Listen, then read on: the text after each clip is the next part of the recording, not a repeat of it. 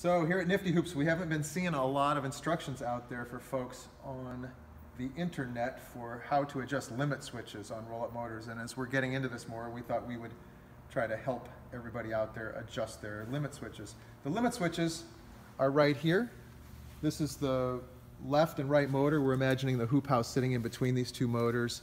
They're connected to the roll bars and are going to roll the curtains up. And the switches determine how far these motors will go up and down. We have them set to where they're shut off in the lower position.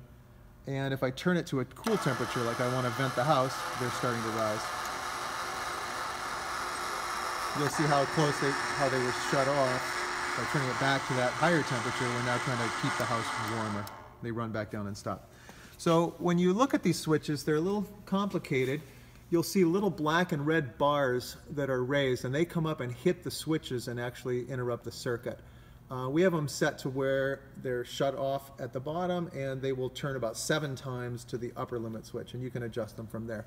If I wanted to adjust this lower limit switch, I want to run it down uh, away inside here to where it can travel back up and hit the switch again. I'm going to turn it this direction. It goes the opposite direction of which, the way I turn it.